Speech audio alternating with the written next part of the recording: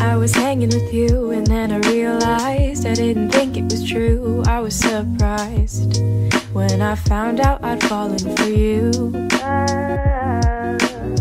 I didn't wanna believe my feelings for you. I didn't wanna believe that I could lose you.